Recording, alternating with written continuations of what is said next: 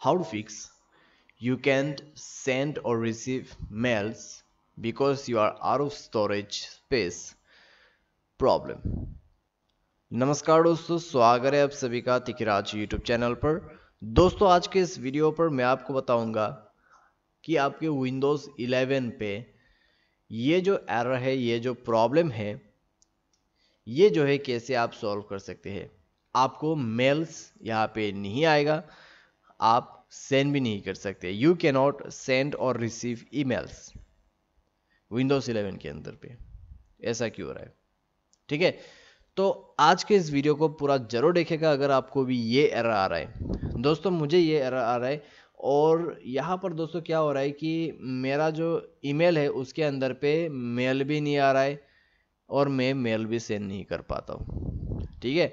Mail send करने के लिए दोस्तों यहाँ पर प्रॉब्लम हो रहा है और मेरा जो मेल है वो इनकमिंग आउटगोइंग दोनों तरफ़ से बंद हो चुका है। ठीक है?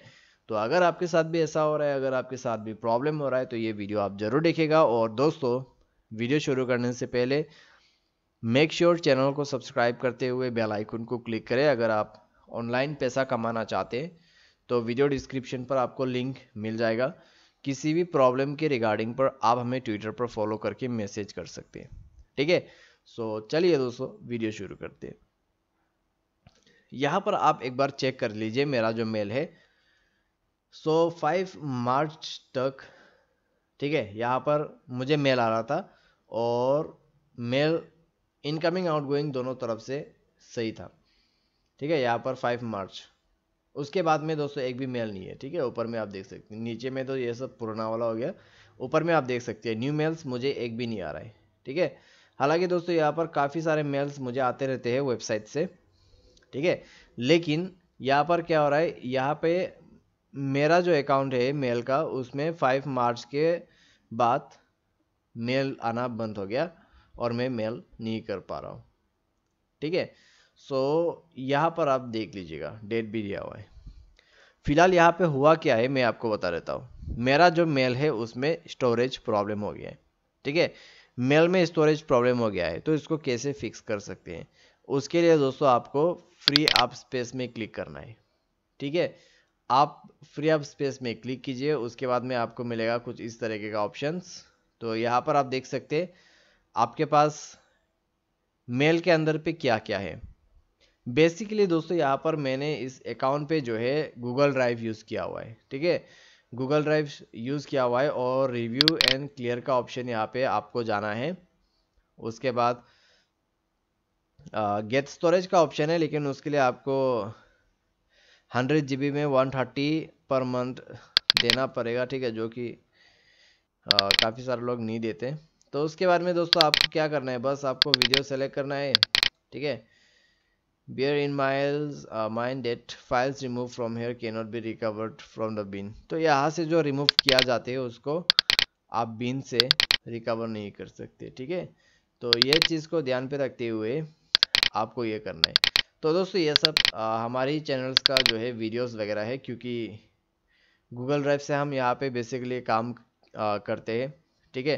कभी कभार जब ऑनलाइन सर्विस हो जाते हैं।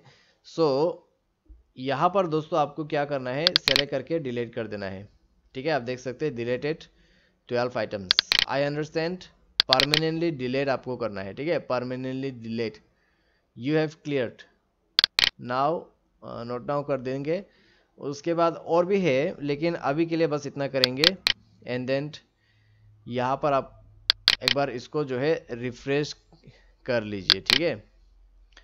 इसको एक बार रिफ्रेश करते हैं। ओके, इस पेज को रिलोड कर लेते हैं।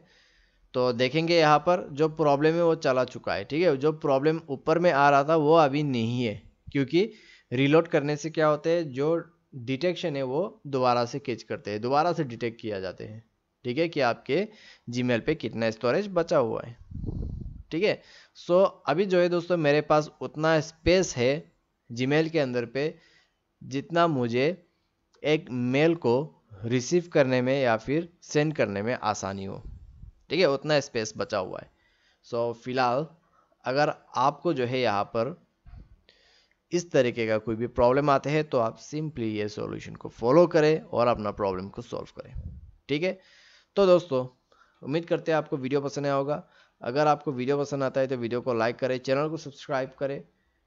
अपने दोस्तों के साथ शेयर करें हो सकते हैं उसके साथ में ऐसा प्रॉब्लम हो रहा हो। ठीक है? तो आज के लिए बस इतना ही। Thanks for watching